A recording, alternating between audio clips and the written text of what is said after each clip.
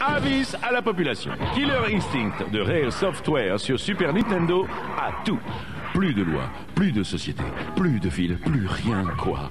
Le vide, le désert, l'apocalypse, le néant. Évidemment, tu es parmi les survivants, mais auras-tu le courage d'affronter les guerriers de la Mega Ultra Tech Corporation, l'ignoble multinationale qui profite de la situation?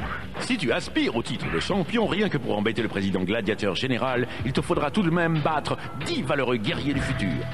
Commence par celui de ton choix et c'est parti Soigne tes enchaînements et peaufine tes techniques, c'est le plus important. Enfin, 7 hit combo du type Savage. Pour les connaisseurs, c'est encore plus fort.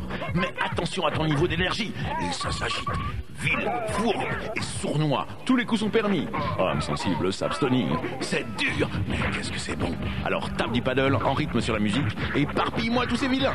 Un programme émouvant et mouvementé qui mérite un sacré 18 sur 20.